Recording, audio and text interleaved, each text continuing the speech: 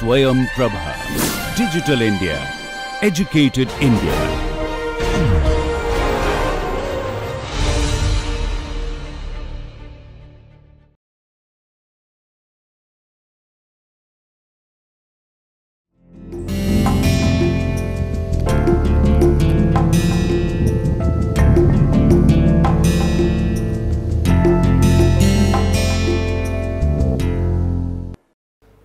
नमस्कार, मैं डॉक्टर दिग्विजय सिंह, सहायक प्राध्यापक, विधि एवं शासन प्रणाली पीठ, दक्षिण बिहार केंद्रीय विश्वविद्यालय गया। मेरे द्वारा प्रस्तुत इस पाठ्यक्रम का शीर्षक है, श्रम एवं औद्योगिक विधि, भाग दो। और आज इस पाठ्यक्रम में हम जो व्याख्यान लेकर के प्रस्तुत हुए हैं, इस व्याख्यान का शीर्षक है, कर्मचारी राज्य बीमा की संकल्पना और इसका लाभ। व्याख्यान का उद्देश्य संक्षिप्त में सब पहले हम यह जान लें कि इस व्याख्यान का उद्देश्य क्या है। इस व्याख्यान में हम कर्मचारी राज्य बीमा अधिनियम की विशेषताओं को जानेंगे और यह जानने का प्रयास करेंगे कि कर्मचारी राज्य बीमा अधिनियम की जो जो संकल्पना है, वह किस दर्शन पर आधारित है और इसका लाभ किसे दिया जाना है। तत्पश्चात हम इस व्याख्यान में कर्मचारी राज्य बीमा निगम की स्थापना और इसका गठन करने के लिए, इसके सदस्यों की जो नियुक्ति है, उसके बारे में चर्चा करेंगे।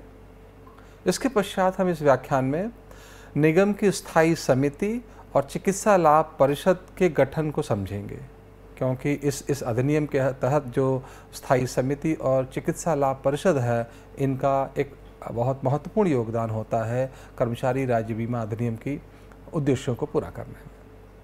इसके पश्चात हम कर्मचारी राज्य बीमा निधि के गठन और और इसके व्यय को जानेंगे कि उस फंड के गठन करने के बाद उस फंड को कहाँ कहाँ, उस निधि का कहाँ कहाँ उपयोग किन उद्देश्यों के लिए किया जाएगा।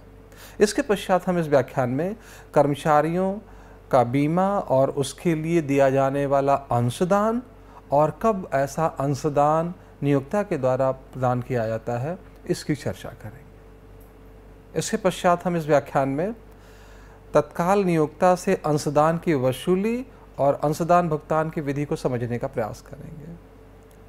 इसके पश्चात हम सामाजिक सुरक्षा अधिकारी की नियुक्ति की प्रक्रिया और उसके क्या कार्य हैं, इसको जानने का प्रयास करेंगे, क्योंकि इस अधिनियम के तहत जो प्रावधान बनाए गए हैं, उस प्रावधान का प्रवर्तन हो रहा है या नहीं हो रहा है, इसकी निगरानी के लिए एक सामाजिक सुरक्षा अधिकारी की नियुक्ति का प्रावधान किया गया है। और अंत में इस व्याख्यान में हम सामाजिक सुरक्षा के रूप में मिलने वाले लाभों को जानने का प्रयास करेंगे।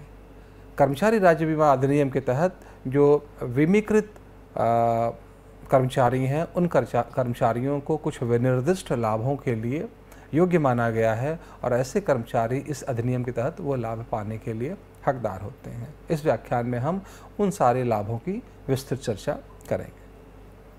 माना यह जाता है कि कर्मचारी, राज्य, बीमा अधिनियम, भारत में औपचारिक रूप से सामाजिक सुरक्षा के, की शुरुआत का एक चरण है।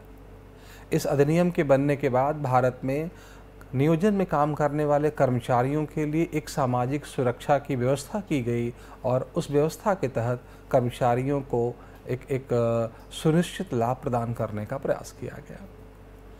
कर्मचारी राज्य बीमा अधिनियम 1948 में बनाया जाता है और यह एक सामाजिक सुरक्षा कानून है। यहाँ सामाजिक सुरक्षा कानून करने से तात्पर्य यह है कि इस अधिनियम के पीछे का जो दर्शन है, वह सामाजिक सुरक्षा की संकल्पना पर आधारित है, जिसे हम सामाजिक न्याय की वृहद संकल्पना के अंतर्गत पाते हैं। कर्मचारी राज्य बीमा अधिनियम में एक निगम की स्थापना की जाती है, जिसे ईएसआई निगम कहते हैं। इसके तहत पंजीकृत कारखानों के तहत काम करने वाले कर्मचारियों के लिए चिकित्सा लाभ और बीमा प्रदान करने का प्रावधान शामिल है। तो हम इस इस व्याख्यान में उन प्रावधानों को विस्तृत में देखेंगे। यह अधिनियम एक स्ववित्त पोषित अधिनियम है। स्ववित्त पोषित पहल करता है, जिसके तहत कोई भी जो व्यक्ति योग्य माना गया है, उसको उसका एक अंशदान देना पड़ता है, उसके अंशदान के आधार पर और साथ ही साथ नियोक्ता के द्वारा दिए गए अंशदान के आधार पर उसे एक लाभ दिलाए जाने का उपबंध किया जाता है। और यह अधिनियम किसी कर्मचारी को उत्पन्न होने वाली वित्तीय समस्या से बचाने के लिए एक उपयुक्त विधि मानी गई है और और इसे सामाजिक सुरक्षा के औपचारिक शुरुआत का एक एक प्रारंभ माना गया भारत में। कर्मचारी राज्य बीमा अधिनियम चिकित्सा संकट के समय श्रमिकों को वित्तीय सहायता देने का प्रावधान करता है। हम सभी जानते हैं कि जो कर्मचारी किसी नियोजन में कार्य कर रहे हैं, जो किसी उद्योग में काम कर रहे हैं, अगर उनके समक्ष तत्काल में कोई चिकित्सीय संकट उत्पन्न होती है तो ऐसे में वह कर्मचारी ऐसे किसी चिकित्सकीय संकट को वहन करने में उसको पूरा करने में सक्षम न हो सकता है और वहाँ पर उसे एक आर्थिक असुरक्षा की स्थिति का सामना करना पड़ सकता है। तो ऐसी स्थिति में इस कर्मचारी को सुरक्षा देने के लिए, आर्थिक सुरक्षा देने के लिए इस अधिनियम में चिकित्सा संकट के विरुद्ध श्रमिक को वित्तीय सहायता देने का प्रयास किया जाता है। यह अधिनियम श्रमिक वर्ग को बीमारी, मातृत्व अवकाश, विकार, विकलांगता या मृत्यु जैसे संकट के समय वित्तीय सहायता प्रदान करने का उपबंध करता है। इस अधिनियम के तहत जो निगम स्थापित किया जाता है, यह निगम अपने अधिकार क्षेत्र में ऐसी पहल कर सकता है जो अपने कर्मचारियों के बीच स्वास्थ्य और कल्याण को बढ़ावा दे। अर्थात, यह अधिनियम मूल रूप से सामाजिक सुरक्षा की संकल्पना को सुदृढ़ करने के लिए और कर्मचारियों की सामाजिक सुरक्षा को सुनिश्चित करने के लिए अस्तित्व में आता है। सर्वप्रथम हम इस अधिनियम के तहत जो एक निगम स्थापित किया गया है, जिस पे ये ज़िम्मेदारी सौंपी गई है कि वह इस अधिनियम के उद्देश्यों को पूरा करने में महत्वपूर्ण भूमिका निभाएगा। हम उसकी स्थापना और उसमें कौन कौन से सदस्य होते हैं, उसके बारे में चर्चा करते हैं। उसके बाद हम आगे के प्रावधानों पर चर्चा करेंगे। कर्मचारी राज्य बीमा निगम की स्थापना का उपबंध इस अधिनियम की धारा तीन में दिया गया है।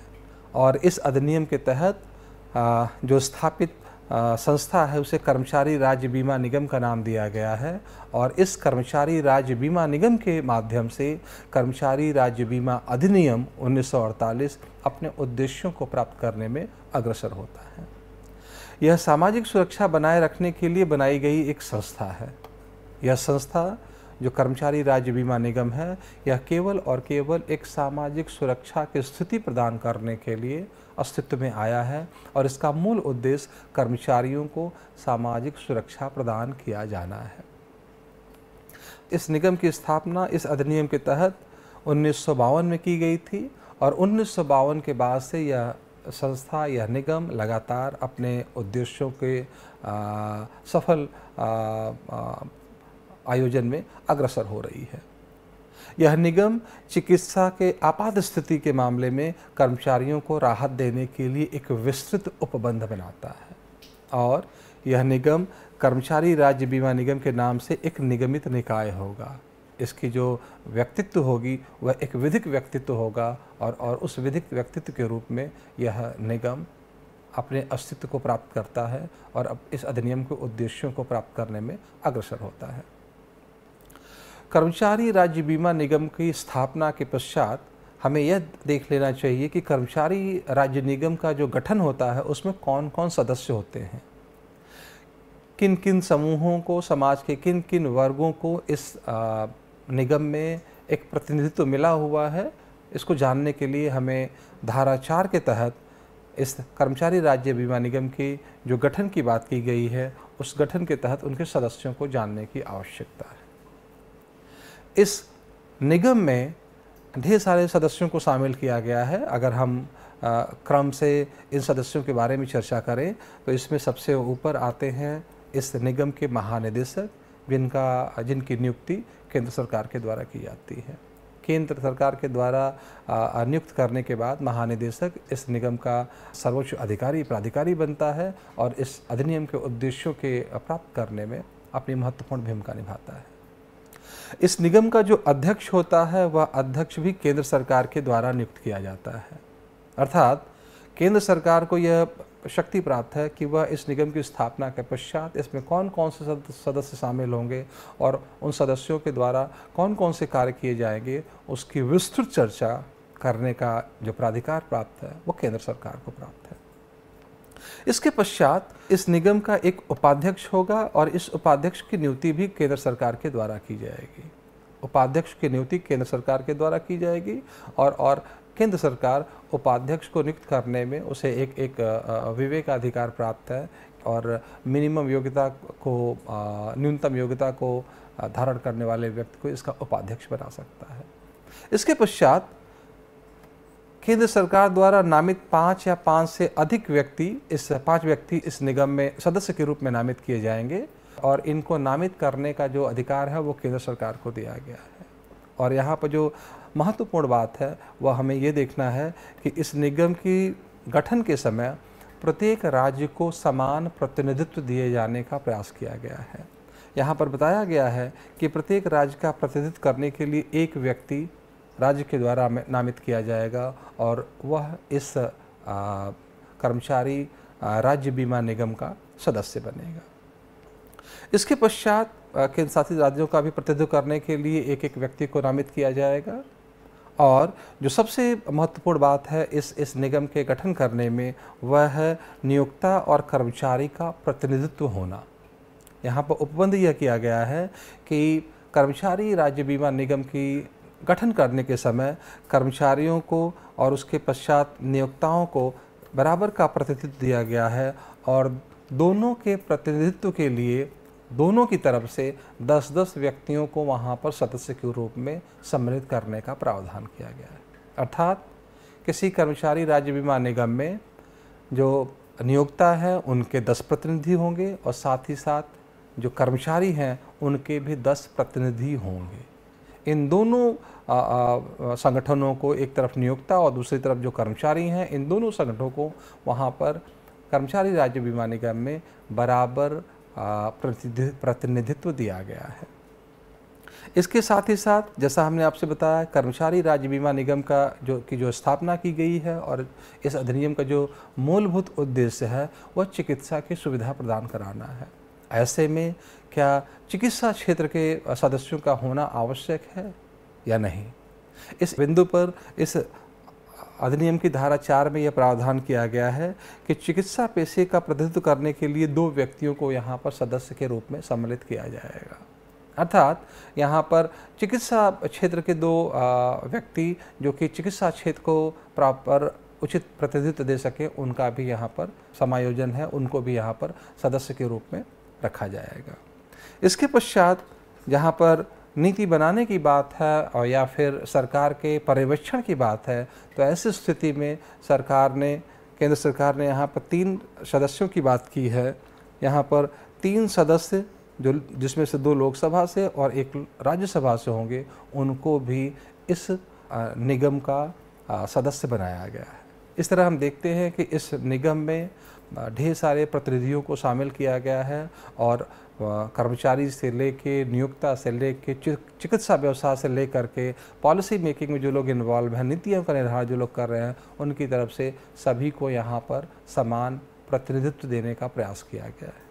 अर्थात यह प्रयास किया जा रहा है कि जब कर्मचारी राज्य बीमा निगम अस्तित्व में आए और वह अस्तित्व में आकर के अपना काम करे तो उसमें सभी वर्गों के प्रतिनिधित्व होने के फलस्वरूप वह निगम अच्छे से काम कर पाएगा। और और इसी आधार पर उन्नीस सौ बावन में सर्वप्रथम भारत में कर्मचारी राज्य बीमा निगम की स्थापना की गई थी। इसके पश्चात कर्मचारी राज्य बीमा निगम की स्थापना के बाद इस निगम की एक स्थायी समिति का गठन किया जाता है और यह स्थायी समिति निगम के निर्णय लेने की प्रक्रिया में बहुत महत्वपूर्ण भूमिका निभाता है और और इसके लिए हम आ, इस अधिनियम की धारा आठ की चर्चा करेंगे जहाँ पर स्थायी समिति के गठन की चर का प्रावधान किया गया है। कर्मचारी राज्य बीमा निगम की स्थायी समिति की संरचना कुछ इस प्रकार से है कि जो कर्मचारी राज्य बीमा निगम है, उस कर्मचारी राज्य बीमा निगम के जितने भी सदस्य हैं, उसमें से कुछ सदस्य कुछ सदस्यों को मिला करके इस स्थायी समिति का गठन किया जाएगा। उसमें ऊपर से महानिदेशक, केंद्र सरकार द्वारा नियुक्त किया गया अध्यक्ष, निगम के भीतर के तीन सदस्य जो राज्यों का प्रतिनिधित्व करेंगे और निगम के भीतर के तीन सदस्य नियोक्ताओं का प्रतिनिधित्व करेंगे और निगम के भीतर के तीन सदस्य जो कर्मचारियों का प्रतिनिधित्व करेंगे, इनके, इनको सम्मिलित करके इस निगम की स्थायी समिति बनाई जाएगी। इसके पश्चात इस स्थायी समिति में निगम के भीतर चिकित्सा पेशे का प्रतिनिधित्व करने वाला एक सदस्य होगा और अंत में निगम से संबंधित एक सांसद सदस्य भी यहाँ पर, संसद सदस्य भी यहाँ पर सम्मिलित किया जाएगा। अर्थात हम देखते हैं कि जहाँ पर कर्मचारी राज्य बीमा निगम को एक निगमित निकाय के रूप में स्थापित किया गया है, वहाँ पर उस एक वृहद निगमित निकाय के सुचारू रूप से कार्य करने के लिए, उसके निर्णय की प्रक्रिया को तीव्र बनाने के लिए उस सदस्यों के बीच में से एक स्थायी समिति का गठन किया जाता है, जिसमें ये निम्नलिखित व्यक्तियों को सम्मिलित किया गया है। पुनः हम देखते हैं कि ऐसे स्थायी समिति में भी नीति बनाने वाले नीति निर्माताओं को, चिकित्सकों को, कर्मचारियों को, नियोक्ताओं को और और राज्य के के प्रतिनिधित्व करने के लिए व्यक्तियों को सबको यहाँ पर प्रतिनिधित्व दिया गया है। अर्थात यह स्थायी समिति भी यह यह संकल्पना अपने आप में समाहित करके चलती है कि कोई भी निर्णय लेने से पहले सारे वर्गों का, जो कि अलग अलग कार्यक्षेत्र में अपना बहुत महत्वपूर्ण स्थान रखते हैं, उनका एक उचित प्रतिनिधित्व हो सके और उनके निर्णयों के आधार पर हम आगे कोई बड़ा निर्णय लेने में सक्षम हो सके। उनके विचारों के आधार पर हम कोई बड़ा निर्णय लेने में सक्षम हो सके। ऐसी स्थिति में इस स्थायी समिति का गठन किया गया है। इसके पश्चात जैसा हमने बताया कि इस अधिनियम का जो मूल उद्देश्य है, वह मूल उद्देश्य कर्मचारियों को चिकित्सकीय लाभ पहुंचाना है, उन्हें चिकित्सा की सुविधा पहुंचाना है। ऐसे में इस अधिनियम के तहत एक चिकित्सा लाभ परिषद की स्थापना की जाती है, एक चिकित्सा लाभ परिषद की गठन की जाती है और उसके माध्यम से यह निर्णय लिया जाता है कि किस कर्मचारी को या फिर किन किन कर्मचारियों को कौन सी चिकित्सकीय सुविधा प्रदान किया जाना आवश्यक है। इस संदर्भ में हम देखते हैं कि चिकित्सा लाभ परिषद की जो स्थापना की जा रही है, उसका जो गठन किया जा रहा है, यह इस अधिनियम की धारा नौ के तहत किया जा रहा है। इस अधिनियम की धारा नौ में यह बताया गया है कि मेडिकल बेनिफिट काउंसिल, जो चिकित्सा लाभ परिषद है, यह ईएसआई योजना के तहत चिकित्सा लाभ के प्रशासन से संबंधित मामलों के लिए एक सलाहकार संस्था हो जब हम यह प्रावधान करते हैं कि कर्मचारी राज्य बीमा निगम कर्मचारियों को चिकित्सकीय सुविधा प्रदान करेगा। तो यहाँ पर आवश्यक प्रश्न यह हो जाता है कि क्या कर्मचारी राज्य बीमा निगम कर्मचारियों को चिकित्सकीय सुविधा पहुँचाने में अपने आप में सक्षम है? तो ऐसी स्थिति में, इस अधिनियम में चिकित्सा लाभ परिषद की स्थापना की गई है और यह परिषद, इसलिए स्थापित किया गया है कि वह कर्मचारी राज्य बीमा निगम को उचित सलाह दे सके और इस चिकित्सकीय लाभ परिषद के सलाह के आधार पर जो कर्मचारी राज्य बीमा निगम है वह निर्णय लेने की प्रक्रिया में आगे बढ़ेगा और एक आ, अच्छा निर्णय लेने में सक्षम होगा। अगर हम चिकित्सकीय लाभ परिषद के गठन की बात करें तो चिकित्सकीय लाभ परिषद में निम्नलिखित व्यक्ति सम्मिलित होते हैं जिसकी चर्चा इस अधिनियम की धारा नौ में की गई है।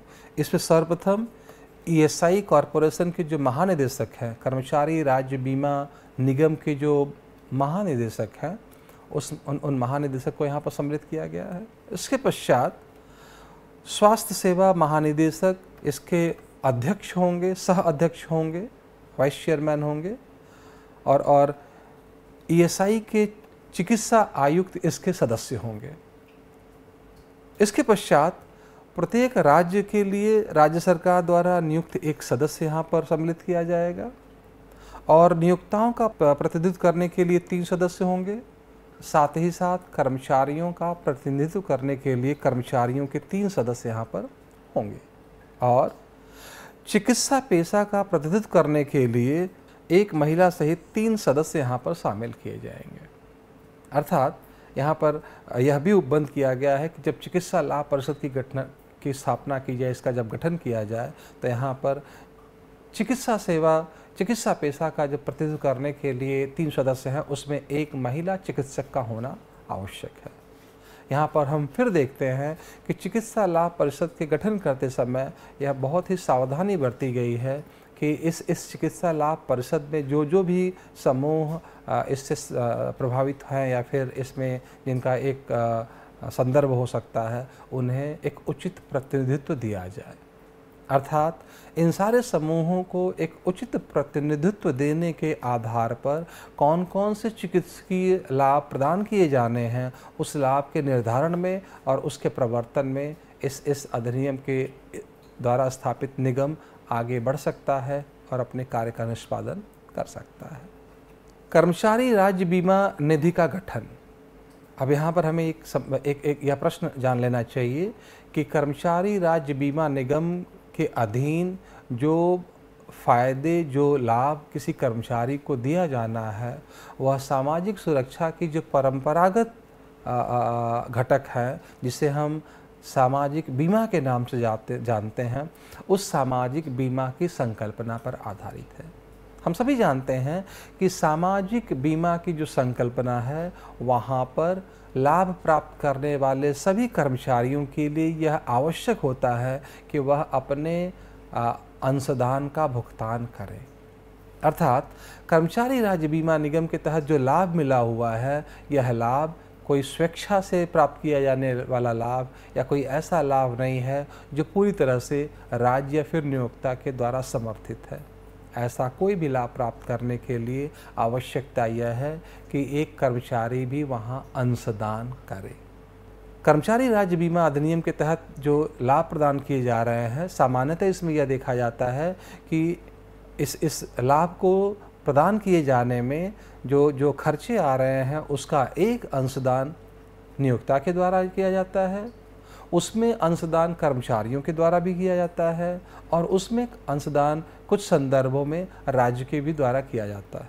अर्थात, यह जो सुविधा प्रदान की जा रही है, चाहे चिकित्सकीय सुविधा हो या फिर अन्य सुविधा हो, जिसकी हम चर्चा अभी थोड़ी देर में करेंगे तो ऐसी स्थिति में जो लाभ प्रदान किए जा रहे हैं, वह लाभ प्रदान किए जाने के लिए कर्मचारियों के द्वारा अंशदान का भुगतान किया जाना आवश्यक है। यह पूरी की पूरी संकल्पना अंशदान पर आधारित है। इन अंशदानों को एकत्रित करके और और उसे एक जगह रखने के लिए एक फंड बनाया गया है, जिसे इस अधिनियम के तहत कर्मचारी राज्य बीमा निधि के नाम से जाना जाता है, कर्मचारी राज्य बीमा फंड के नाम से जाना जाता है। इस फंड की स्थापना इस अधिनियम की धारा 26 के तहत की गई है। इस अधिनियम में यह प्रावधान किया गया है कि कर्मचारी राज्य बीमा कोष ईएसआई के कार्यों को करने के लिए एक प्राथमिक मौद्रिक स्रोत होगा। अर्थात, इस निधि को स्थापित करने का, इस फंड को बनाने का जो पर्पज है, वह पर्पज ये है कि इस फंड के माध्यम से कर्मचारी राज्य बीमा निगम को जो खर्चे करने हैं, उसे जो जो जो आर्थिक स्रोतों को सुनिश्चित करना है, उसके लिए इस इस निधि का यूज़ किया जाएगा उपयोग किया जाएगा और इसके माध्यम से आ, कोई भी लाभ कर्मचारियों को सुनिश्चित कराया जाएगा। इसके पश्चात इस अधिनियम के तहत भुगतान किए गए सभी योगदान सभी योगदान से तात्पर्य यहाँ पर कर्मचारियों के योगदान नियोक्ताओं के योगदान और समय समय पर राज्य के द्वारा दिए गए योगदान से है। सभी योगदान और निगम की ओर से प्राप्त अन्य सभी धनराशि का भुगतान इस निधि में किया जाएगा।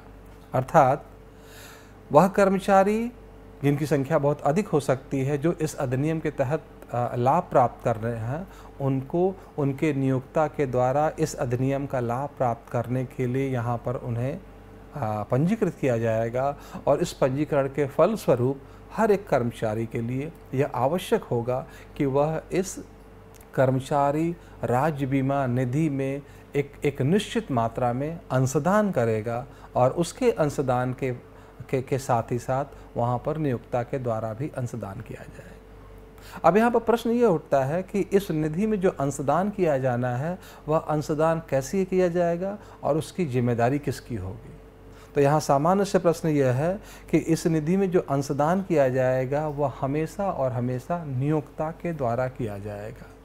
नियोक्ता अपने सभी कर्मचारियों के अंशदान को एकत्रित करके और साथ ही साथ उसे जो अंशदान देना है, उसको मिला करके एक साथ पूरा अंशदान उस निधि में जमा करेगा और इस माध्यम से यह निधि धन संचित करके एक बड़ा कोष बनेगा और इसके माध्यम से ढेर सारी सुविधाओं को प्रदान किया जाएगा।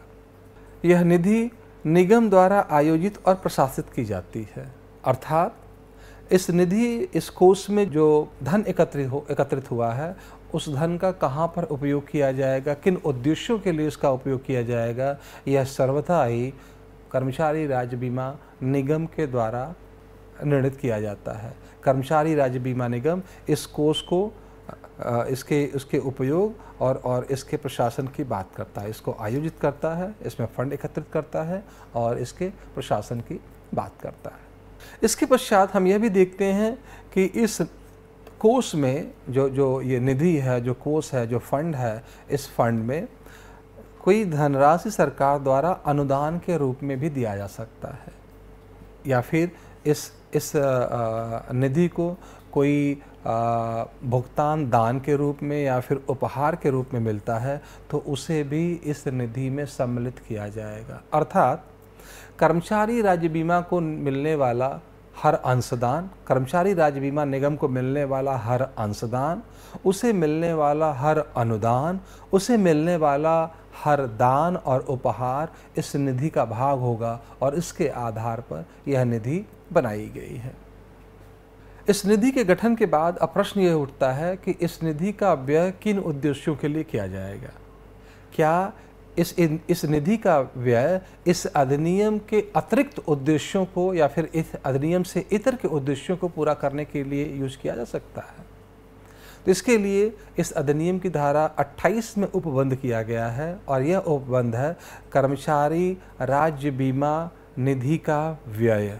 ऐसा निधि जो गठित किया गया है, इसका व्यय कहाँ कहाँ किया जाएगा? किन खर्चों के लिए इस कोष का उपयोग किया जाएगा उसमें एकत्रित धन का उपयोग किया जाएगा? ईएसआई फंड ईएसआई निगम के खर्चों को बनाए रखने के लिए जिम्मेदार है जो इस प्रकार है।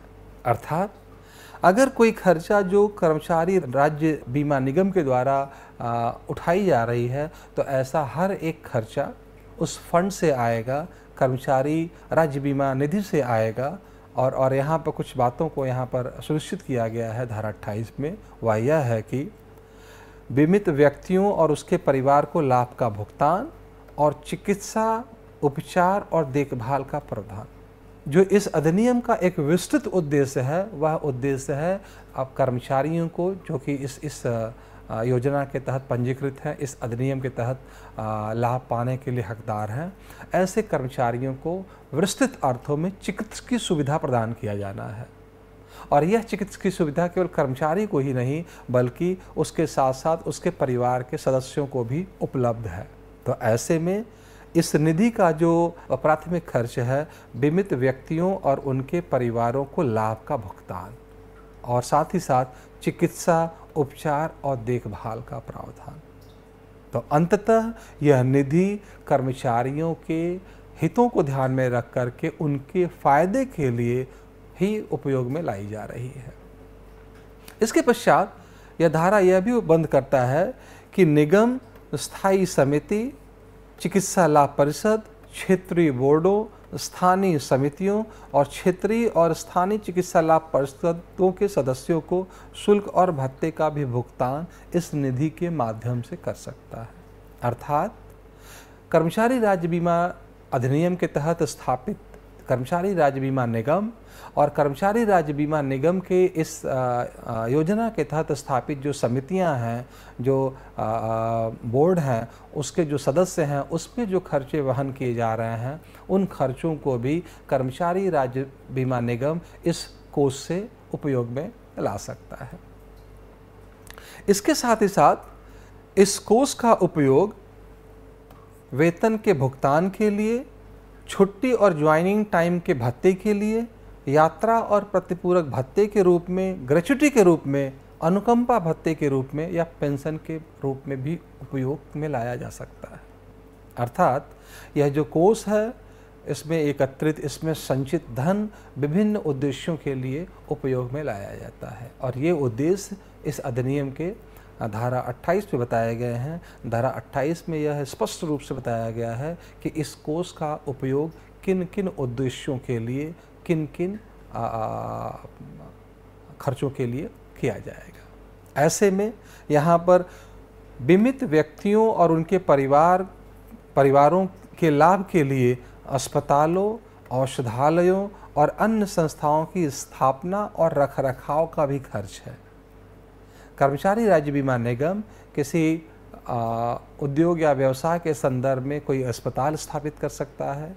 या फिर कोई औषधालय स्थापित कर सकता है, या फिर उसके रख रखाव की ज़िम्मेदारी ले सकता है। ऐसे में स्थापित किया जाने वाला अस्पताल, स्थापित किया जाने वाला औषधालय, या फिर इनके रख रखाव पर जो खर्चे आ रहे हैं, ये स्थापित किए जाने और रख रखाव के खर्चे कर्मचारी राज्य बीमा निधि से ही व्यय किए जाएँगे। इसके साथ ही साथ बीमित व्यक्तियों और उनके परिवार को प्रदान किए गए चिकित्सा उपचार और उपस्थिति की लागत के लिए किसी भी राज्य सरकार, स्थानीय प्राधिकरण या किसी निजी निकाय या व्यक्ति को योगदान का भुगतान भी इस कोष से किया जा सकता है। अर्थात हम यह देखते हैं कि इस अधिनियम में जो कोष के व्यय करने का प्रावधान है, यह एक बहुत विस्तृत प्रावधान है और और कर्मचारी राज्य बीमा निगम को हर वो खर्चे जो उसे उपार्जित हो रहे हैं, उन खर्चों को यहाँ पर कर्मचारी राज्य बीमा निधि कोष से लिया जा सकता है। इस कोष को वहाँ पर उन खर्चों के लिए उपयोग में लाया जा सकता है। कर्मचारियों का बीमा और अंशदान। जैसा मैंने प्रारंभ में चर्चा किया कि इस अधिनियम का नाम है कर्मचारी राज्य बीमा अधिनियम। तो यहाँ बीमा की संकल्पना समा, समाहित है और यह संकल्पना यह है कि एक कर्मचारी जिसको इस अधिनियम के तहत बीमित कराया गया है बीमा करने के पश्चात ही उसे इस अधिनियम का उप लाभ मिल पाएगा। इस अधिनियम की जो जो जो विशेषताएँ हैं, उसका उसको हकदार माना जाएगा। ऐसे में आवश्यक यह है कि सभी कर्मचारियों का बीमा कराया जाए। कर्मचारी राज्य बीमा अधिनियम सभी उद्योगों पर लागू नहीं होता है, लेकिन उन उद्योगों पर जहाँ पर कर्मचारी राज्य बीमा अधिनियम लागू होता है, वहाँ पर एक बहुत ही बाध्यकारी आवश्यकता है और वह आवश्यकता है सभी कर्मचारियों का बीमा कराया जाना। हम सभी जानते हैं कि जब भी बीमा कराया जाता है किसी व्यक्ति का तो बीमा के माध्यम से उस व्यक्ति को होने वाले आर्थिक नुकसान की भरपाई का प्रयास किया जाता है। यहाँ पर कर्मचारी को उसके चिकित्सा के कारण या फिर किसी अन्य कारण से, जिसकी चर्चा इस इस व्याख्यान के अंत में की गई है, वहाँ पर होने वाले, उत्पन्न होने वाले खर्चों के हेतु यहाँ पर कर्मचारी के बीमा कराए जाने की आवश्यकता है। हम यह भी जानते हैं कि जब किसी का बीमा किया जाता है तो उस बीमित व्यक्ति के बिहार पर या उसके द्वारा बीमा का जो प्रीमियम होता है, उस प्रीमियम का भुगतान किया जाना आवश्यक होता है। और और वही प्रीमियम यहाँ पर कर्मचारी के अंशदान के रूप में जाना जाता है। कर्मचारी को बीमित होने के पश्चात एक निश्चित राशि का अंशदान देना पड़ेगा और उसी अंशदान के माध्यम से और साथ ही साथ सरकार के द्वारा या नियोक्ता के द्वारा प्रदान किए गए अंशदान के माध्यम से एक कोष का गठन किया जाता है और उस कोष के माध्यम से कर्मचारियों को विभिन्न लाभों को उपलब्ध कराया जाता है। तो ऐसे में ईएसआई कॉरपोरेशन निर्धारित नियमों को पूरा करने वाले कारखानों में कार्यरत सभी कर्मचारियों को इसके द्वारा दिए जाने वाले सभी लाभों के लिए बीमा किया जाएगा। तो कर्मचारी का बीमा किया जाना आवश्यक है उन उद्योगों में जहाँ पर कर्मचारी राज्य बीमा अधिनियम लागू होता है।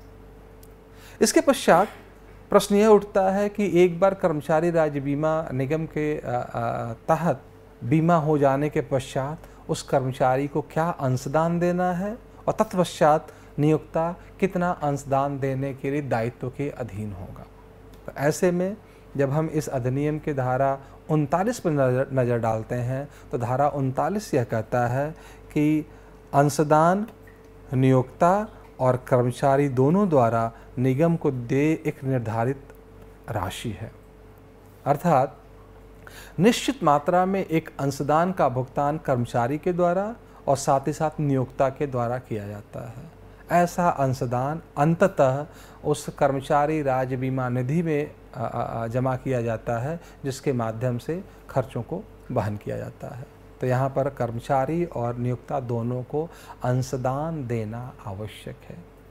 अगर किसी कर्मचारी को जो इस अधिनियम के तहत किसी लाभ के लिए हकदार है और उसे इस अधिनियम के तहत बाध्यकारी रूप से बीमा कराया गया है, वह यह नहीं कह सकता है कि वह अंशदान का भुगतान नहीं करेगा। ऐसे संदर्भ में सामान्यतः यह देखा जाता है कि इस अंशदान की कटौती करने के लिए नियोक्ता को सक्षम माना गया है। नियोक्ता को इसके लिए प्राधिकार दिया गया है कि वह ऐसा अंशदान मजदूरी के भुगतान से पूर्व ही कर्मचारी के उस मजदूरी से उसकी कटौती कर सकता है और और उसके पश्चात उसका भुगतान कोष में कर सकता है। आमतौर पर सरकार द्वारा निर्धारित की जाती हैं, जो जो अंशदान की दरें होती हैं, वो सामान्यतः सरकार के द्वारा निर्धारित की जाती हैं। और स्थिर नहीं होती हैं, समय के साथ ये परिवर्तित होती रहती हैं, परिवर्तन के अधीन होती रहती हैं और और सामान्यतः यह देखा जाता है कि कि जो कर्मचारी का अंशदान होता है, वो नियोक्ता के अंशदान के बराबर या उससे कम ही होता है। कभी भी कर्मचारी का अंशदान नियोक्ता के अंशदान से ज़्यादा नहीं होता है। सामान्यतः नियोक्ता का अंशदान कर्मचारी के अंशदान से ज़्यादा होता है। कर्मचारियों का बीमा और अंशदान इस संदर्भ में धारा उनतालीस के तहत अंशदान से संबंधित और प्रावधानों का हमने यहाँ यहाँ जानने की आवश्यकता है। यह प्रावधान है आ, सबसे पहले सरकार द्वारा आ, यह परिभाषित किया जाता है या निर्धारित किया जाता है कि अंशदान का दर क्या होगा। अधिकतर नियोक्ता द्वारा देय योगदान के लिए इकाई मानक के रूप में निर्धारित की जाती है। या, या जो दरें निर्धारित की जाती हैं वो सामान्यतः नियोक्ता द्वारा देय योगदान के लिए इकाई मानक के रूप में निर्धारित की जाती है। इसके पश्चात कर्मचारी के योगदान के मामले में संबंधित कर्मचारी के संबंध में वेतन अवधि को देय मुआवजे का निर्धारण करने के लिए एक इकाई के रूप में रखा जाएगा और आमतौर पर वेतन अवधि के अंतिम दिन देय होता है। अर्थात जब हम अंशदान के भुगतान की बात करते हैं तो हम सभी जानते हैं कि किसी कर्मचारी को जब उसके कार्य के लिए, उसके द्वारा निष्पादित कार्य के लिए जब मजदूरी का भुगतान किया जाता है तो मजदूरी के भुगतान की एक निश्चित अवधि होती है। और वह मजदूरी एक निश्चित अवधि पर ही देय होता है।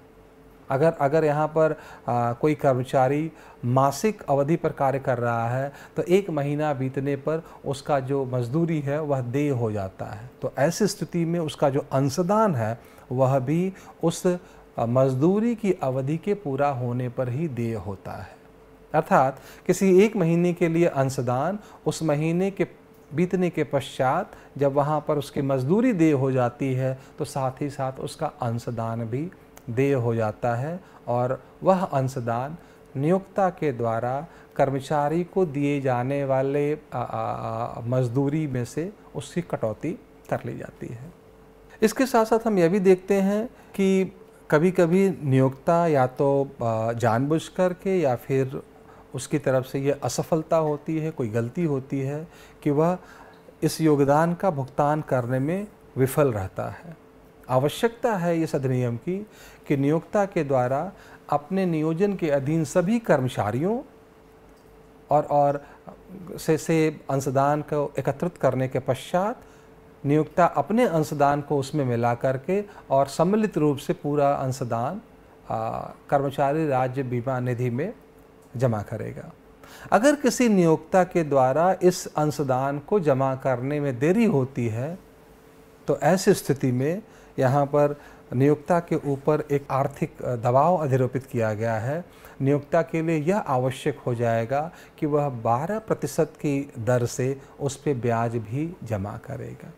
अर्थात यहाँ पर यह देखा गया है कि कि अगर अगर नियोक्ता विफल रहता है या नियोक्ता समय पर उस निधि में अंशदान का भुगतान नहीं करता है तो ऐसी स्थिति में नियोक्ता पर एक एक एक, एक आ, अर्थदंड अधिरोपित किया गया है।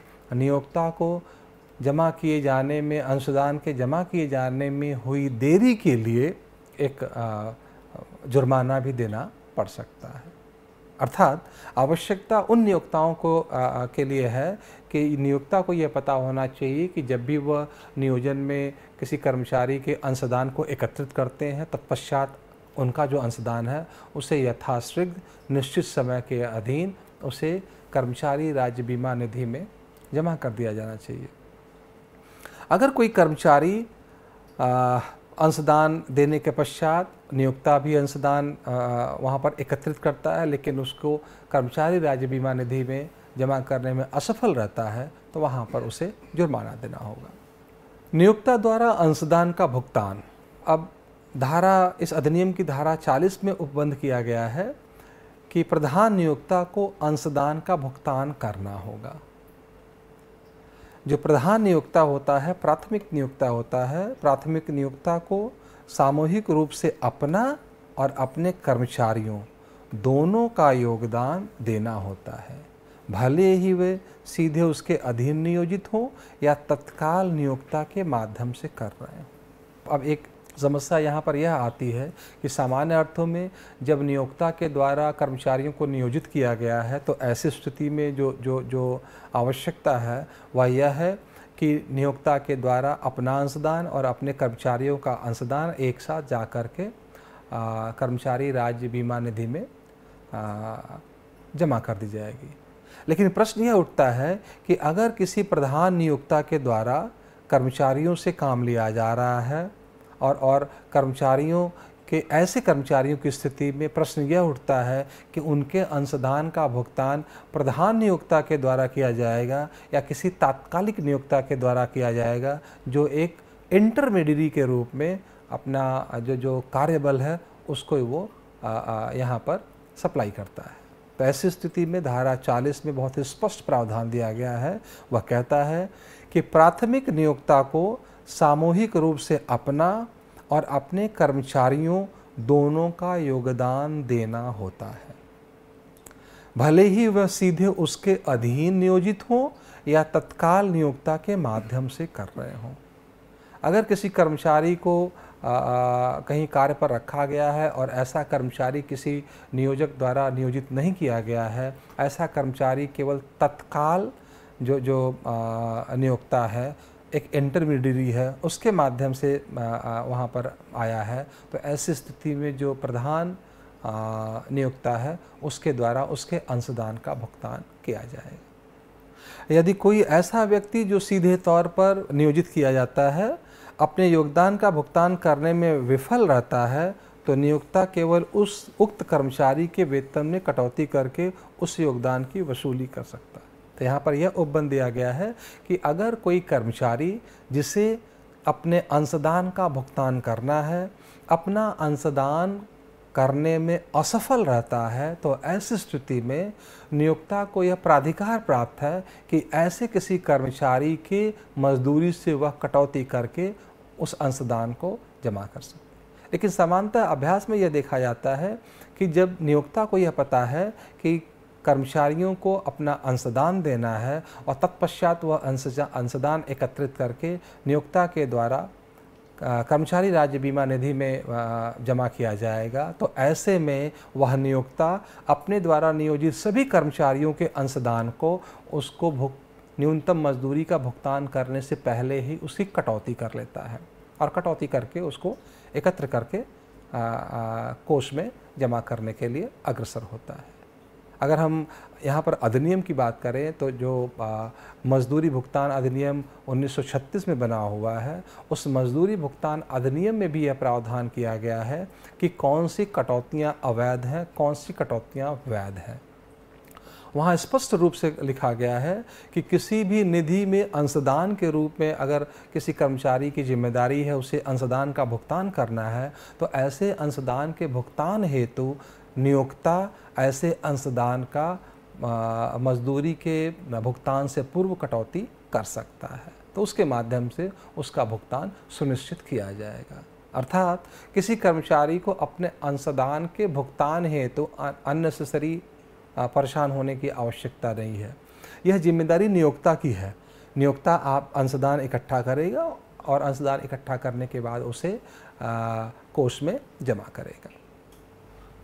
इसके साथ ही साथ अब यहाँ पर प्रश्न यह उठता है कि अगर नियोक्ता ने अपने सारे कर्मचारियों के अंशदान को एकत्रित कर लिया, सारे कर्मचारियों के अंशदान को एकत्रित करने के बाद उसने अपना भी अंशदान वहाँ पर लगा दिया, तत्पश्चात उस अंश, पूरे अंशदान के योग को वह कोष के जो गठित की गई है, जो फंड बनाया गया है, जो निधि बनाई गई है, उस निधि में हस्तांतरित करता है। उस निधि में उसे जमा करता है।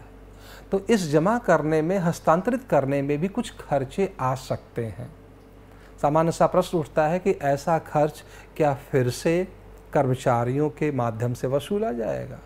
तो यहाँ पर इस अधिनियम में स्पष्ट रूप से प्रावधान किया गया है कि नियोक्ता, निगम को भुगतान की सभी हस्तांतरण लागत को वहन करेगा, अर्थात अंश के एकत्रित होने के बाद, अंशदान के एकत्रित होने के बाद अगर इसके हस्तांतरण में कोई खर्च आता है तो ऐसा खर्च हमेशा और हमेशा नियोक्ता के द्वारा वहन किया जाएगा।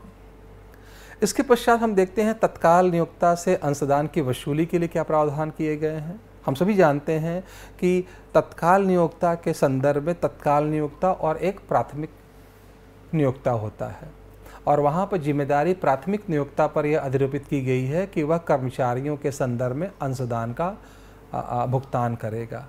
ऐसी स्थिति में प्राथमिक नियोक्ता को यह प्राधिकार प्राप्त है कि वह तत्काल, तात्कालिक जो नियोक्ता है उससे अंशदान की वसूली कर सकता है। इसके लिए प्रावधान इस अधिनियम में दिया गया है। ऐसे कर्मचारी के मामले में जो अप्रत्यक्ष रूप से तत्काल नियोक्ता के माध्यम से मुख्य नियोक्ता के अधीन कार्यरत है। मुख्य नियोक्ता अप्रत्यक्ष कर्मचारी की ओर से किए गए भुगतान को तत्काल नियोक्ता से उसे देय ऋण के रूप में वसूल करने का हकदार है। अर्थात, तत्काल नियोक्ता के द्वारा उपलब्ध कराए गए श्रमिकों या कर्मचारियों के अंशदान के भुगतान के लिए प्राथमिक नियोक्ता की ज़िम्मेदारी है।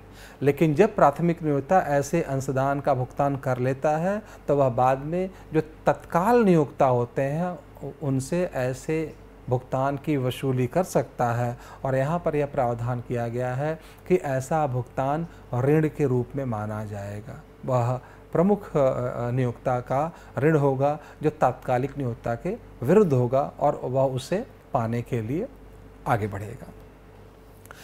इसके पश्चात तत्काल नियोक्ता को अपने अधीन सभी कर्मचारियों की एक सूची तैयार करनी होगी और बकाया अपना बकाया भुगतान करने से पहले उसे प्रमुख नियोक्ता को जमा करना होगा। तो तो सूची बना करके यहाँ पर यह सुनिश्चित करने का प्रयास किया जा रहा है कि किसी एक तात्कालिक नियोक्ता के, के के द्वारा कौन कौन से वर्कफोर्स को किन किन कर्मचारियों को प्रमुख नियोक्ता के समक्ष पहुँचाया गया है। अंशदान के भुगतान के संबंध में सामान्य प्रावधान यह है कि यदि किसी कर्मचारी का वेतन केंद्र सरकार द्वारा निर्धारित वेतन सीमा से कम हो जाता है तो कर्मचारी अपने योगदान के लिए उत्तरदायी नहीं होगा और यह देय नहीं होगा। समय से पर समय समय पर यह सीमा परिवर्तित होती रहती है। अगर केंद्र सरकार ने एक निश्चित राशि से कम राशि मजदूरी के रूप में प्राप्त करने वाले कर्मचारियों को अंशदान देने के इस दायित्व से मुक्ति प्रदान करता है तो ऐसी स्थिति में उन कर्मचारियों को इस अधिनियम का लाभ मिलेगा। उन्हें एक बीमित व्यक्ति माना जाएगा, लेकिन उन्हें कोई भी अंशदान देने की आवश्यकता नहीं होगी। अंशदान भुगतान की विधि, अंशदान का भुगतान कैसे किया जाएगा? धारा तिरालीस के अनुसार अंशदान भुगतान के जिस तरीके के लिए अधिनियम, विनियम प्रदान करता है, उसे निम्नलिखित शर्तों से समझा जा सकता है। पहला है, भुगतान किए जाने वाले अंशदान की प्रकृति और समय को जानना। कहीं ऐसा अंशदान स्वैच्छिक है या बाध्यकारी है, और और कब वो पेमेंट किया गया, कब उसका भुगतान किया गया है, ये जानना। तत्पश्चात, भुगतान जिसमें खातों की पुस्तकों या किसी अन्य दस्तावेज़ पर लगाए गए टिकटों या अन्य चिपकने वाले उपकरण शामिल हैं। ऐसे भुगतान को भी वहाँ पर सम्मिलित किया गया है। योगदान का साक्ष्य अगर अंशदान किया गया है, योगदान किया गया है तो उसका क्या साक्ष्य है जो निगम तक पहुँचता है, दिनांकित होना चाहिए। हर निगम निगम के समक्ष हर नियोक्ता यह एक दस्तावेज़ पहुंचाएगा कि उसने अपनी तरफ़ से अपने नियुक्त अपने कर्मचारियों को और अपना अंशदान का भुगतान कर दिया है और उस, यह अंशदान इस दिन किया गया है, उसका ये दस्तावेज़ है। इसके पश्चात बीमित व्यक्तियों के विवरण के साथ खातों की पुस्तकों में विभिन्न प्रविष्टियाँ की जाएँगी और उस प्रविष्टियों को भी कर्मचारी राज्य बीमा निगम के उस कोष को संदर्भित किया जाएगा। अर्थात यहाँ पर आवश्यकता यह है कि एक सुनिश्चित दस्तावेज़ तैयार किया जाए, यह देखने के लिए कि कौन कौन से कर्मचारियों को इस अधिनियम का लाभ मिल रहा है कौन कौन से कर्मचारी इस अधिनियम के तहत विमित हैं, जिन्हें इसका लाभ मिलना है। जो दस्तावेज़ खो जाते हैं या नष्ट हो जाते हैं या विरूपित हो जाते हैं उनका प्रतिस्थापन किया जाएगा, उनके स्थान पर एक दूसरा दस्तावेज़ तैयार किया जाएगा, ऐसी आवश्यकता इस अधिनियम के तहत अधिरोपित की गई है। इसके पश्चात इस अधिनियम में एक अधिकारी की नियुक्ति की जाती है, जिसे सामाजिक सुरक्षा अधिकारी कहा जाता है, और सामाजिक सुरक्षा अधिकारी पर यह दायित्व अधिरोपित किया गया है कि इस अधिनियम के उद्देश्यों की प्राप्ति हेतु उसे क्या क्या कार्य करने हैं। अधिनियम की धारा 45 के अनुसार सामाजिक सुरक्षा अधिकारी की नियुक्ति और उसके कार्यों की चर्चा की गई है। कर्मचारी राज्य बीमा निगम के पास व्यक्तियों को सामाजिक सुरक्षा अधिकारी के रूप में नियुक्त करने की शक्ति है। अर्थात कर्मचारी राज्य बीमा निगम ही सुरक्षा अधिकारियों की नियुक्ति करता है। इनका कार्य अधिकतर निगम के कार्यों का परीक्षण करने की भूमिका निभाना है। जो जो निरीक्षण का कार्य है कि किस उद्योग में इन इन शर्तों को पूरा किया जा रहा है, इस अधिनियम के उद्देश्यों को पूरा किया जा रहा है, नहीं किया जा रहा है, उनके लिए निरीक्षण करना है।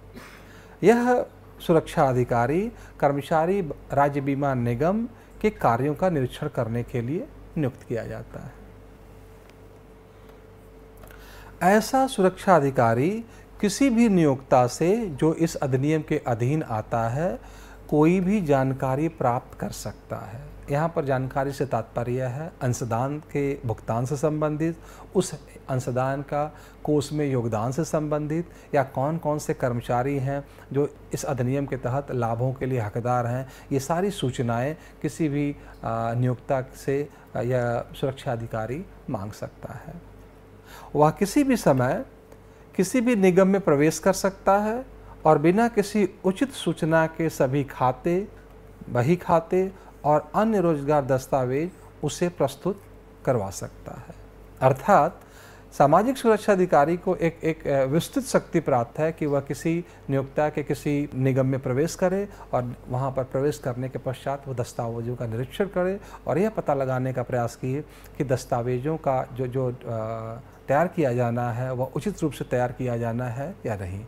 और उसमें इस अधिनियम के उद्देश्यों, इस अधिनियम के प्रावधानों को पूरा किया जा रहा है या नहीं किया जा रहा है।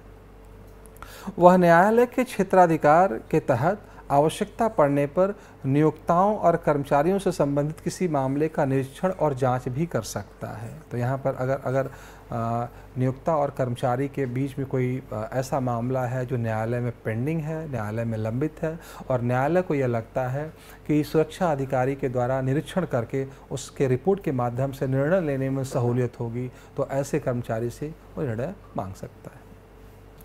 सामाजिक सुरक्षा के रूप में लाभ अधिनियम की धारा छियालीस में उन लाभों की चर्चा की गई है जो सामाजिक सुरक्षा के रूप में कर्मचारियों को कर्मचारी राज्य बीमा अधिनियम के तहत प्रदान किया गया है। इसमें कर्मचारियों को चोट लगने की स्थिति में सामाजिक सुरक्षा के रूप में लाभ दिया गया है। और अगर हम देखें तो यहाँ पर छः प्रकार के लाभ हैं।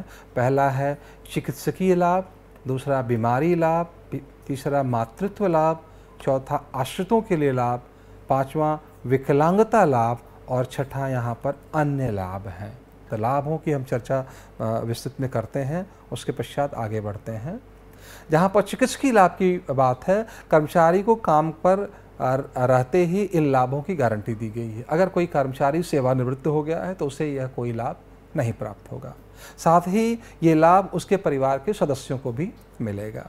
यह लाभ कर्मचारी द्वारा सामना की गई चिकित्सा समस्याओं के एवज में उसे खर्चे के भुगतान के लिए प्रदान किया जाता है। बीमारी में लाभ। कर्मचारी बीमारी की स्थिति में समय समय पर भुगतान का लाभ उठा सकता है और उसे जो मुआवजा मिलेगा, उसकी मजदूरी का वह लगभग 70 प्रतिशत होगा और मुआवजा प्राप्त करने की जो ऊपरी सीमा है, वह है एक वर्ष में इक्यानवे दिनों के लिए। छः महीने की रोज़गार की अवधि में कर्मचारी को कम से कम अठहत्तर दिनों तक काम करना होगा। उसके बाद ही वह इस अधिनियम के तहत बीमारी के लाभों के लिए योग्य माना जाएगा। मातृत्व लाभ, एक बीमित महिला प्रसूति के दौरान या फिर गर्भपात के दौरान या गर्भावस्था से उत्पन्न किसी बीमारी के लिए या बच्चे का समय से पहले जन्म की स्थिति में वहाँ पर उसे मातृत्व लाभ के रूप में भुगतान किया जाएगा। एक महीने के विस्तार के साथ लाभ तीन महीने तक के लिए देय हो सकता है। गर्भावस्था के वर्ष से पहले के वर्ष में न्यूनतम कार्य अवधि सत्तर दिन होनी चाहिए, तभी ऐसी कोई महिला मातृत्व लाभ के लिए हकदार होगी। विकलांगता से लाभ, यदि किसी कर्मचारी को रोज़गार के दौरान चोट लग जाती है, उसे व्यक्तिगत क्षति होती है और वह परिणाम स्वरूप विकलांग हो जाता है तो विकलांगता की प्रकृति प्रकृति जो स्थायी या अस्थायी होती है, उसको ध्यान में रख करके उस कर्मचारी को एक एक एक लाभ प्रदान किया जाता है। इसके साथ ही साथ यह निर्धारण करने में कि मुआवजे की राशि कितनी होगी, यदि कोई हो, को भी प्रभावित करता हो, जिसमें मजदूरी का सामान्य प्रतिशत नब्बे प्रतिशत होता है तो विकलांगता की स्थिति में जो मैक्सिमम अमाउंट है, जो अधिकतम अमाउंट है, जिसे लाभ के रूप में दिया जा सकता है, वह उसकी मजदूरी का नब्बे प्रतिशत है। इसके पश्चात आश्रितों के लिए लाभ की चर्चा की गई है। यह रोज़गार के दौरान मरने वाले व्यक्तियों के आश्रितों को, उनके परिवार के सदस्यों को समय समय पर लाभ देने का उपबंध करता है। और अगर हम अन्य प्रकार के लाभों की बात करें तो इसमें अंत्येष्टि के व्यय के लिए दस हज़ार रुपये का प्रावधान है, व्यावसायिक पुनर्वास के लिए प्रावधान है, और वृद्धावस्था चिकित्सा देखभाल के लिए प्रावधान है। इस तरह हम देखते हैं कि कर्मचारियों के लिए ढेर सारे व्यक्तिगत लाभों का यहाँ पर उपबंध किया गया है। और अंत में हम देखते हैं कि इस व्याख्यान में हमने कर्मचारी राज्य बीमा अधिनियम की विशेषताओं को समझा, कैसे यह कर्मचारी राज्य बीमा अधिनियम एक सामाजिक सुरक्षा का अधिनियम है। कर्मचारी राज्य बीमा निगम की स्थापना और इसके गठन को समझा यहाँ पर हमने इसकी स्थायी समिति, इसके चिकित्सकीय लाभ परिषद की स्थापना को देखा और और साथ ही साथ हमने यहाँ पर जो कर्मचारी राज्य बीमा निगम के तहत निधि का गठन किया जा रहा है, उस गठन के बारे में जाना। इसके पश्चात हमने इस व्याख्यान में कर्मचारियों के और और नियोक्ताओं के द्वारा दिए जाने वाले अंशदान के बारे में जाना कि किसे कितना अंशदान कब देना है और कैसे इस अंशदान का योगदान बाद में निधि में किया जाता है। तत्पश्चात हमने सामाजिक सुरक्षा अधिकारी की नियुक्ति का प्रावधान देखा और कैसे इस अधिनियम के प्रावधानों को सफल बनाने के लिए सामाजिक सुरक्षा अधिकारी को किसी भी निगम के, के पर्यवेक्षण या फिर निगरानी का उसको अधिकार दिया गया है। और अंत में हमने इस अधिनियम के तहत सामाजिक सुरक्षा के रूप में कर्मचारियों को जिसकी बीमा की गई है जिसने अंशदान का भुगतान किया गया किया है उसे जो ढेर सारी लाभें मिल रही हैं, वो लाभ कौन कौन से हैं, उसकी हमने विस्तृत चर्चा की। धन्यवाद।